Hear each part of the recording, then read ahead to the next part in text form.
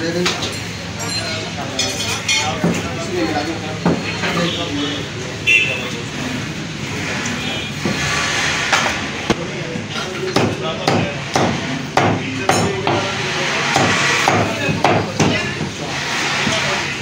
मिला के सबको बोल।